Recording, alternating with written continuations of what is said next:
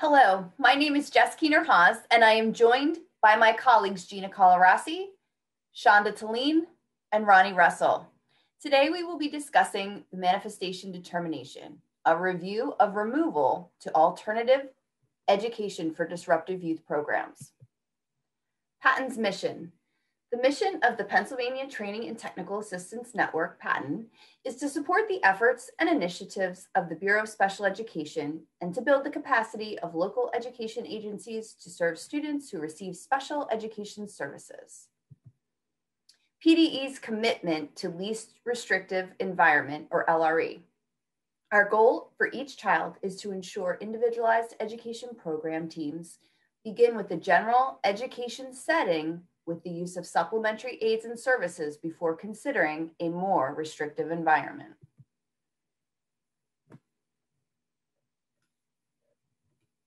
AEDY programs. They are temporary and disruptive by definition of 1901C, a student who poses a clear threat to the safety and welfare of other students or staff, creates an unsafe school environment, or whose behavior materially interferes with the learning of other students or disrupts the overall education process. Disciplinary protections within IDEA are ensured for students who are also thought to be eligible and have yet to be identified for special education services.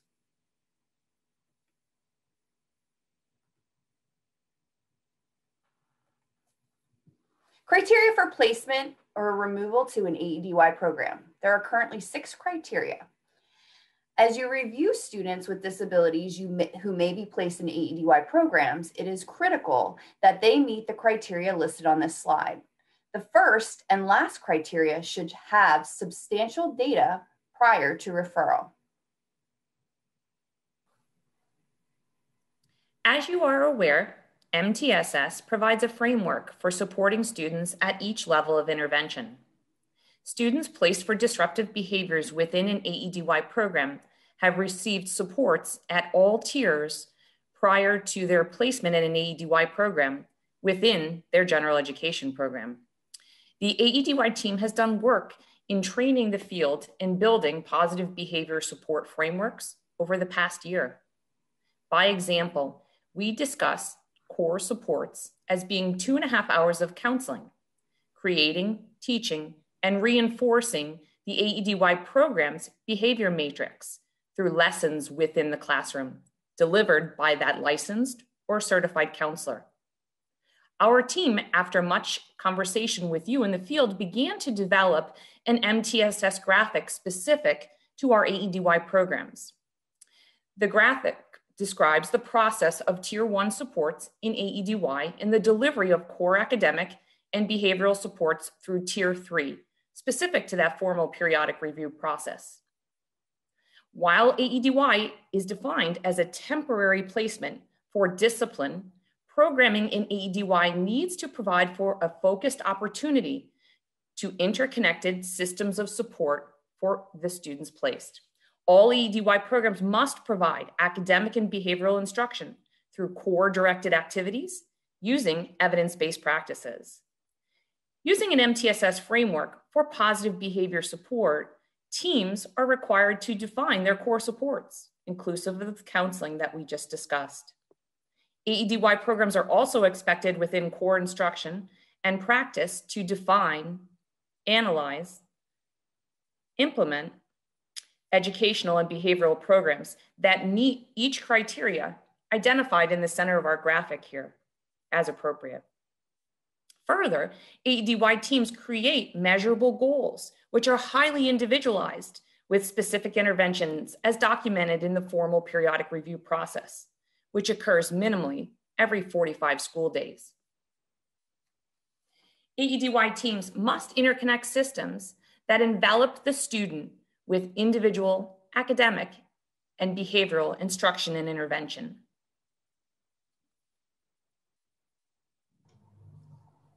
Discipline doesn't meet the intended result. Why is this question important? Student suspensions are an intervention frequently used in schools in an attempt to control student behavior. During the 2011 2012 school year in the United States, 3.5 million students were disciplined by in-school suspension and 3.45 million by out-of-school suspension. These statistics are especially troubling because African American and economically disadvantaged students are overrepresented in school suspension data. The most common rationale for suspending students is to deter students from future infractions of school conduct rules. Unfortunately, many students find school far more aversive than the punishment. With our knowledge of human behavior, this suggests that suspensions may in other ways negatively impact the very students who are at the greatest risk for failure in our schools, increasing the frequency of suspensions and the number of students who drop out of the system. This data mining piece seeks to answer the following questions. Does suspension produce significant unintended consequences that harm the students it was intended to help? So as a team, you might answer these questions. How do you evaluate the type and number of student removals from middle and high school programs? How much instructional time and opportunities were missed? How will programs improve the achievement gap without closing the discipline gap?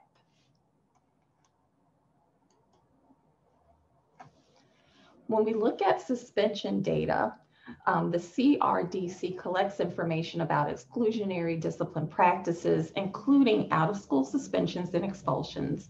Out of school suspension is an instance in which a child is temporarily removed from his or her regular school for at least half a school day for disciplinary purposes.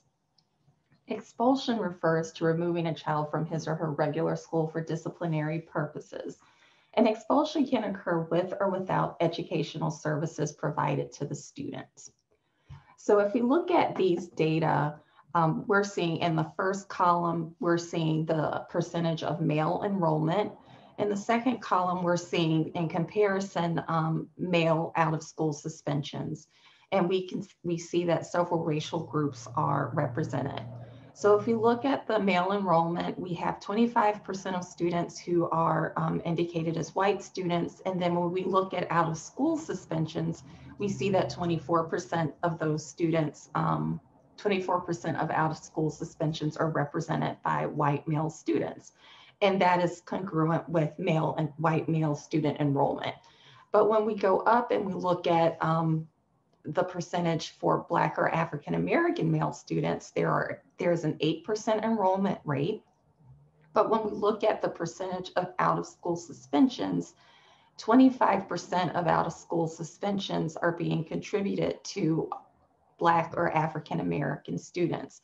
So that is supporting the statement that um, Black and Af- or African American students are being overrepresented when it comes to um, out of school suspensions. And when we look at female enrollment data, we're seeing the same pattern um, with Black students.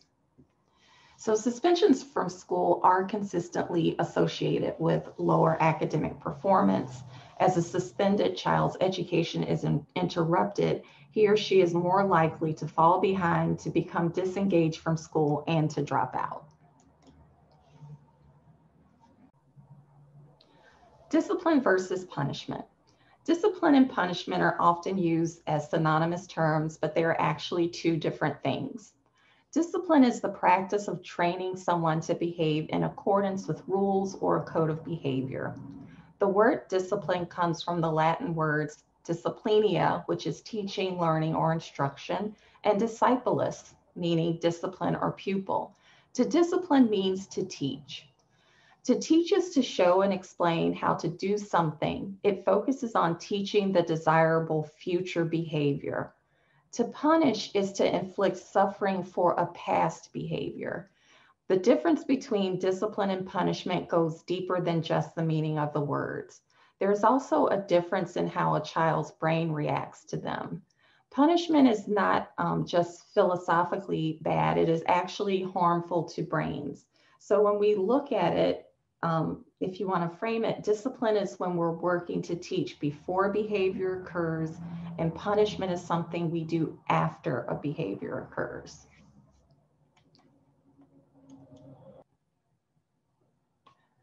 What about interventions? So we're thinking about interventions we're thinking about targeted instruction that's based on student need. So student needs that are identified through data. Interventions are designed to supplement and complement the general education curriculum. It is a systematic compilation and implementation of well-researched or evidence-based specific instructional behavioral strategies and techniques. And you can find these techniques on um, certain websites such as What Works Clearinghouse or Intervention Central. Um, and finally, it includes a plan for progress monitoring student outcomes and measuring fidelity of implementation. Coordination and results of team members. Team members work to establish and maintain a safe and healthy instructional climate for all students through establishing a multi-tier system of support or MTSS that promotes positive relationships between adults and students where school climate is improved.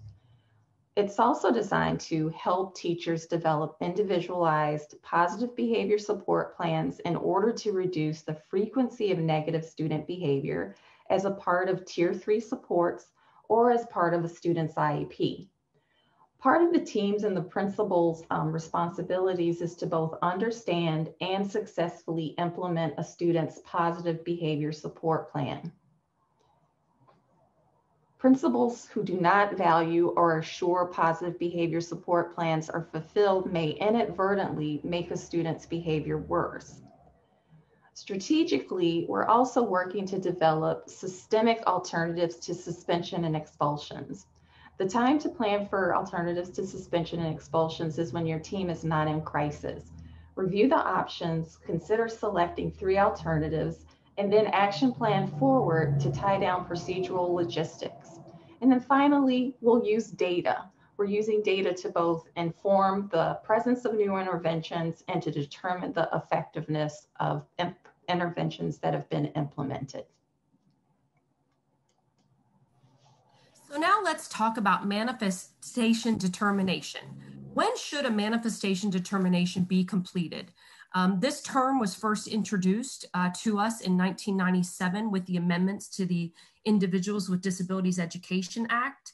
And something to note as we're going through the manifestation determination information is to refer back to uh, the PaTTAN uh, resource on manifestation determinations.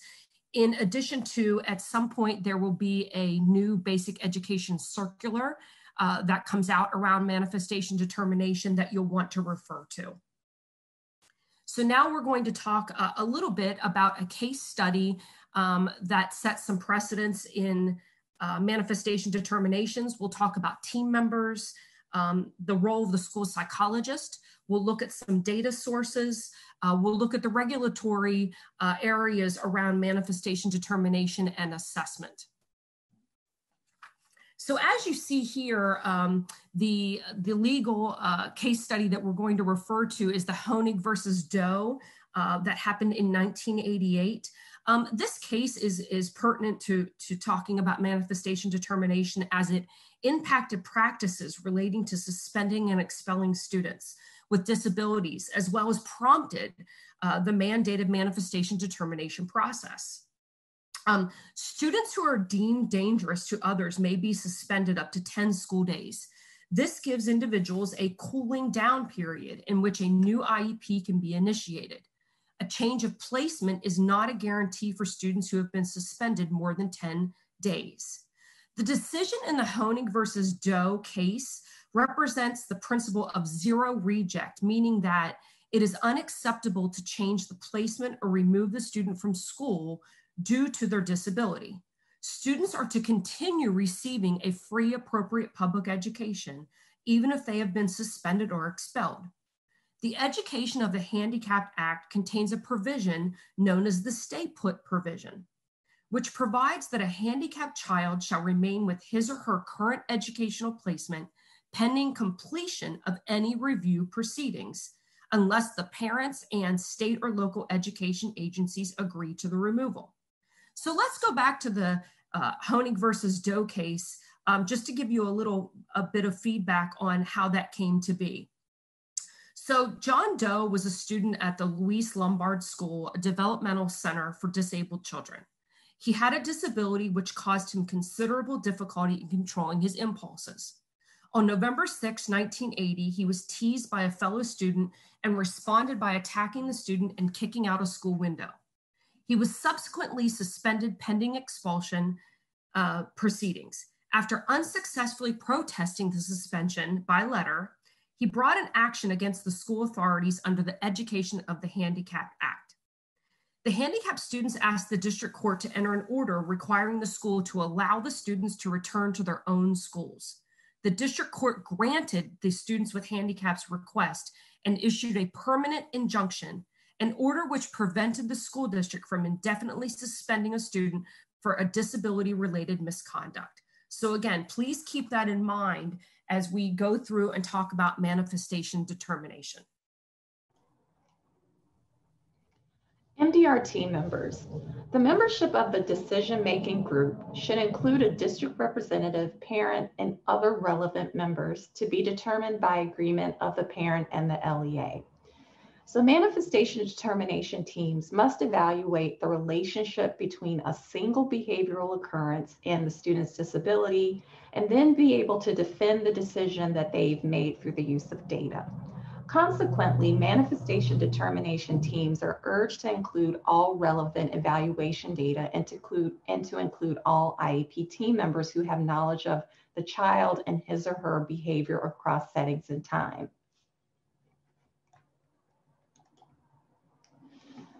The National Association of School Psychologists recommends the inclusion of school psychs on MDR teams.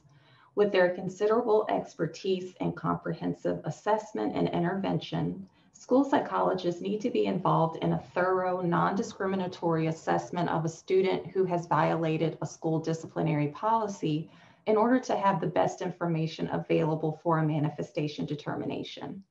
School psychologists have extensive training in multidimensional assessment to capture possibly potent factors underlying a student's behavior behavior rating scale data from parents, teachers, and students, and the student themselves, interviews of parent and teachers, clinical interviews with the child, direct observation and assessment of personality, social skills, reasoning, comorbid conditions, achievement, and educational performance. Equally important, with the knowledge that minority students with disabilities are suspended at a higher rate than non-minority students, they are also mindful of non-discriminatory assessment components learning ecology, language proficiency, opportunity for learning, and educationally relevant cultural and linguistic factors. The experience, the, this experience with assessment practices, as well as in behavior analysis and the understanding of the characteristics, behaviors, and needs of students with disabilities, make them valuable team members. To that end, they are encouraged to be a member of the manifestation determination team, assist the team in gathering all pertinent and necessary information that will be useful in making and supporting an informed decision, along with considering real student needs, and provide a written report citing the data that were used to make the decision to make the decision in addition to completing a manifestation determination record form at the IEP meeting.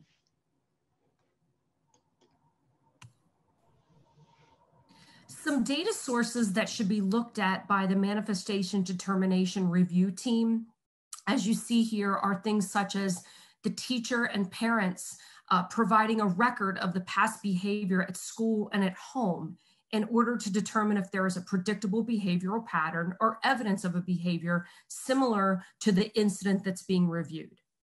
Uh, the IEP goals uh, for positive behavior change and their implementation, have they been implemented by the teachers uh, uh, and the school district um, as written in the IEP. Have there been antecedents to this incident per the understanding of the student and observers? Have the parents shared with you or have you asked the parents if the child has new health or medication information that could impact the behavior um, that you're reviewing? Had there been recent changes in the family or in the school experience that could negatively impact behavior?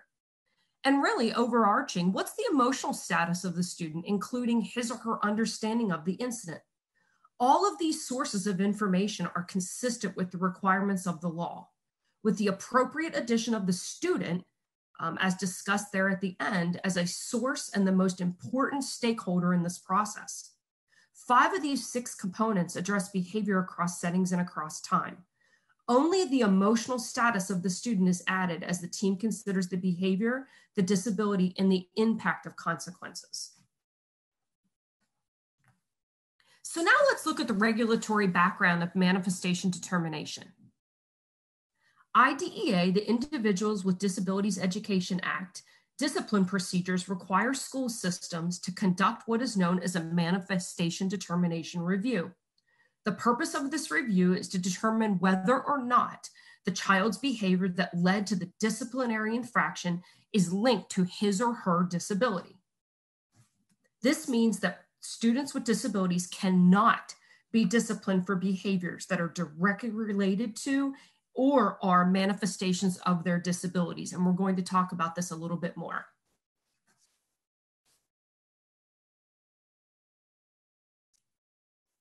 So what is considered a disciplinary change of placement? This disciplinary change of placement occurs when a student who is receiving special education services is excluded from school for more than 10 school days in a row or for more than 15 school days in any one school year or when days 11 through 15 constitute a pattern of exclusion. Again, you may ask, what is a pattern? Um, this is something that the team decides um, to, to uh, look at if it was a pattern um, of being out of school and being excluded. And again, uh, we can't heavily emphasize enough for even one school day for a student with an intellectual disability, it would be considered a disciplinary change of placement.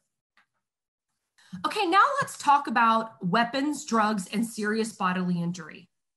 LEAs may unilaterally remove a student with a disability to an interim alternative education setting for up to 45 school days when the student, one, carries a weapon, two, knowingly possesses or uses illegal drugs, sells or solicits them, or three, has inflicted serious bodily injury upon another person while at school. Let's further define what we mean by weapon.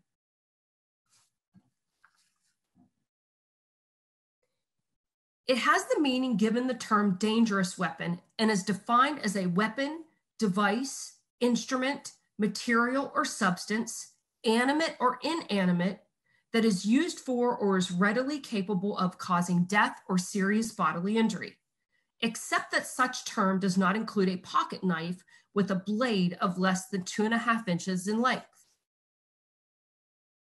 Now let's talk further about serious bodily injury. Oftentimes, this definition is not looked at by folks, and students are removed for something that really was not a serious bodily injury. Bodily injury, which creates a substantial risk of death or which causes serious permanent disfigurement or protracted loss or impairment of the function of any bodily member or organ. Again, please make sure that you're following each one of these definitions before removal uh, to an interim alternative education setting.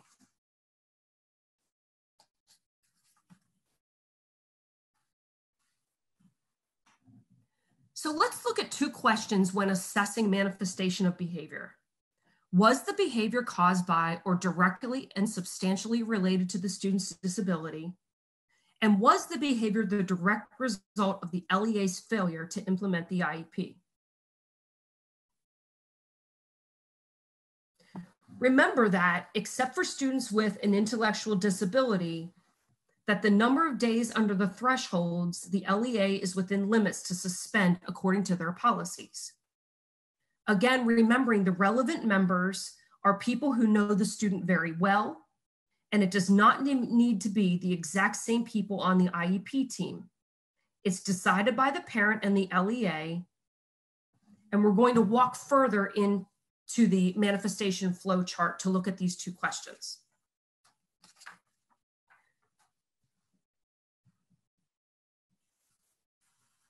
So if the answer to either question is yes, the behavior is a manifestation, looking at the very top box on the left the IEP team must either conduct an FBA or if a positive behavior support plan already has been developed, review that positive behavior support plan and modify it.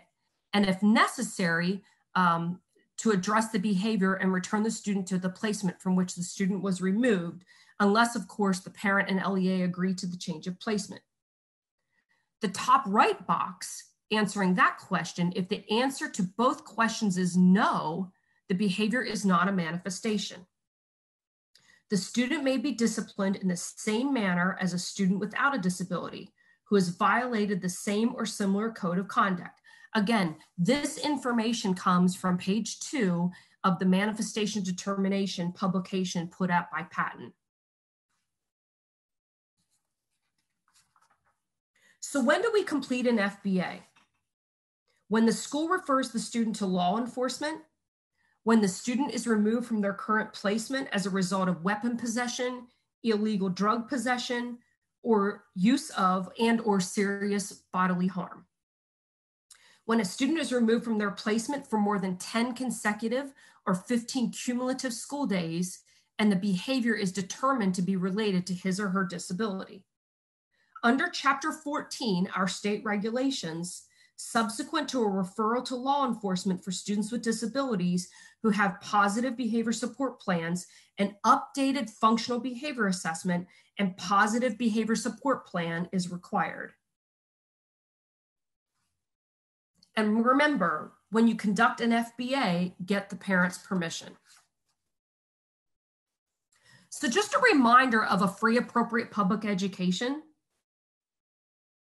IDEA 2004 makes it clear that FAPE must be made available to students eligible for special education, including students who have been suspended or expelled from school.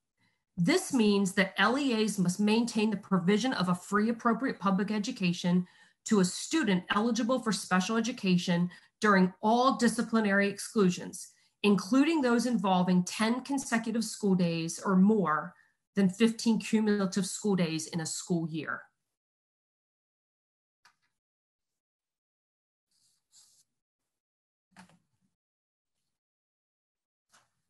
And here we're just reminding you of our Office for Dispute Resolution and their hearing decisions and considerations for reflection. The Office for Dispute Resolution provides resources for parents and educational agencies to resolve educational disputes for children served by students with disabilities or thought to have disabilities. And again, uh, you see their website on the screen, and you can also read about um, local Pennsylvania uh, cases uh, in regards to manifestation determination and discipline.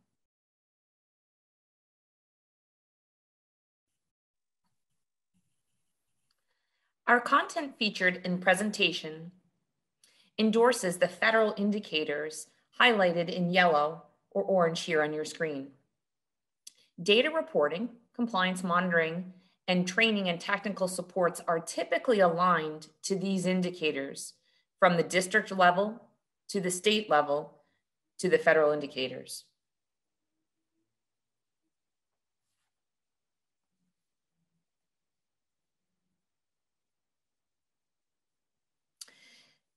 On the screen, you'll find our PaTTAN publications. Uh, this is specific to our presentation today, and we would highly encourage you to uh, go to our PaTTAN website and uh, locate this information to provide uh, to your teams as a further resource uh, in the development of uh, your team's training. So here on the screen, manifestation determination worksheet. And if you go to our PaTTAN website, you can certainly um, order a PaTTAN publication uh, into your um, district or charter school. The resources listed are referenced throughout our presentation today. Please consider using these to train and support your teams.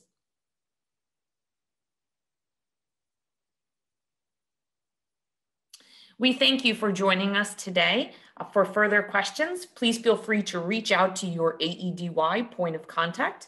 If you are not aware of your specific uh, point of contact, please reach out to aedy at pattan.net. Again, that is uh, aedy at pattan.net. and um, we will be glad to support uh, any of your questions or training and technical uh, support needs. Thank you.